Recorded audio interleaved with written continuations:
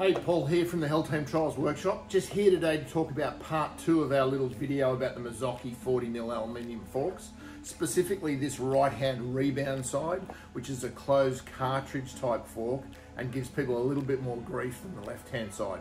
Anyway, we'll dig deeper into it and have a chat about the way this works and the way to fix it. Okay, we're going to push through some of this early stuff a bit quickly because it was covered in part one. So using either a special tool, a pin spanner, circlip, pliers, whatever you like to get that cap off, slide the top down, slide this preload spacer down to give you access to underneath. It'll clip underneath that piece there.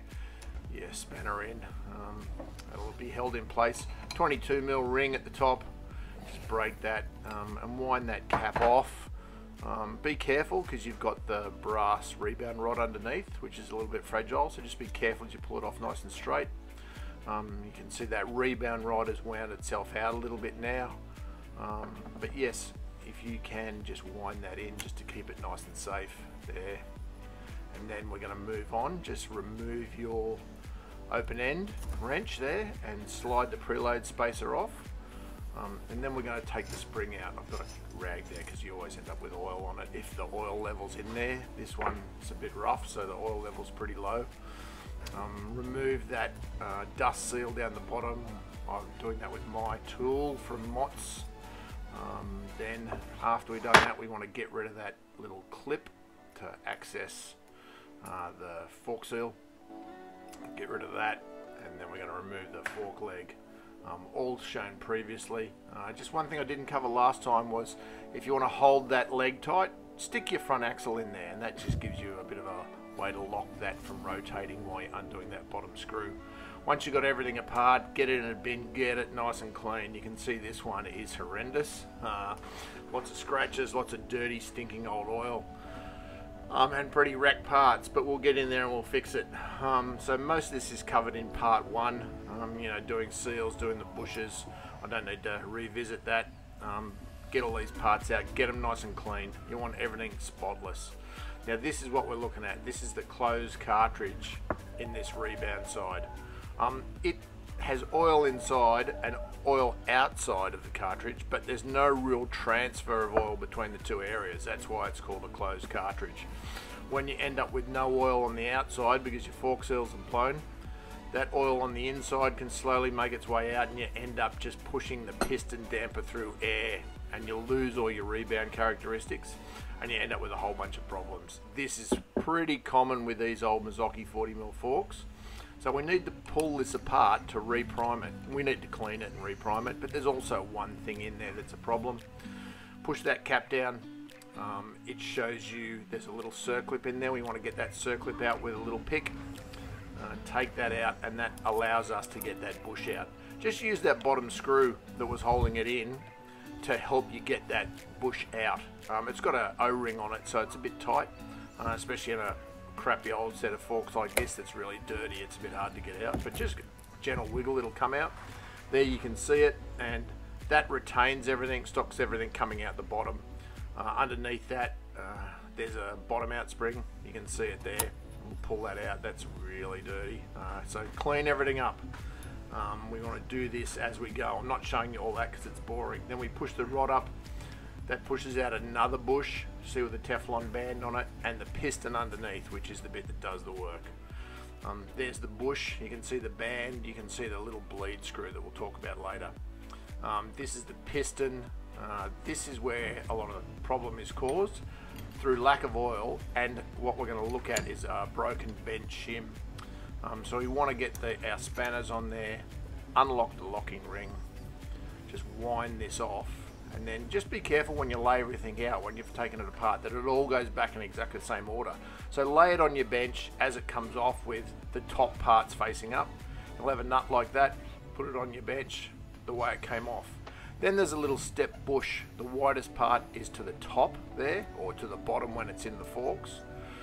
Um, and then there's two shim washers that control the oil flow to the piston. So there's a small shim washer and a thicker shim washer then we've got the piston. And then on the other side of this piston, once we pull this off, we're going to clean all this stuff as we go. Uh, on the other side, you should have a flat shim washer, which is there, you can see that. But underneath that should be a, a, a very similar washer but bent. it's missing. Now these break often because they, they're always bending. That shim washer's there to put pressure onto the flat washer underneath it and hold it against the piston so it's always moving. So I've rebuilt this and I've put a bent shim washer back in there. I'll just rotate it so you can see, but that shim washer there that's bent holds the one underneath it flat against the piston. So that controls, as there's more oil flow, the, the washer is bent and allows oil to go through. These Teflon bands now too are impossible to get, so we cut our own. Um, if you get yourself a piece of one mil Teflon sheet like this, you can purchase this in lots of places. You can cut it up. Um, the dimensions are 83 mils long, 4 mils wide, and that's a perfect little replacement band there.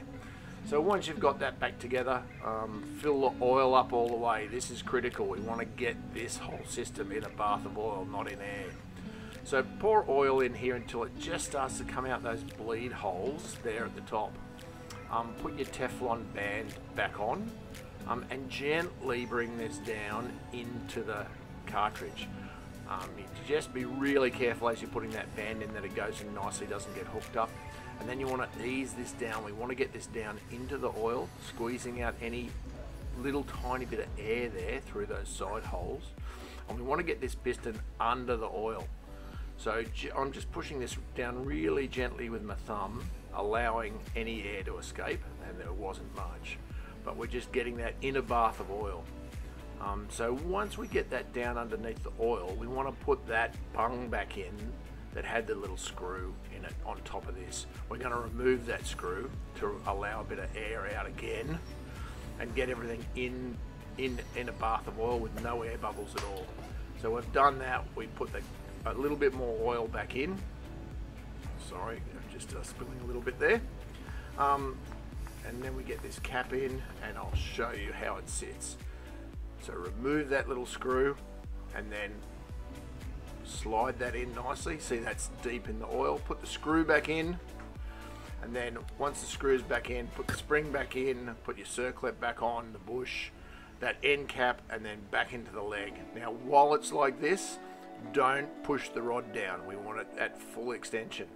So get that all nice and nipped up into your lower fork leg. Um, and then once that's done, pour some oil into this leg. The object of this is to try and get um, oil in there so we can stroke the upper rod and just make sure there's no air bubbles. So you can feel it. If there's air there, you can really feel it just push through really quickly. You want resistance in both directions.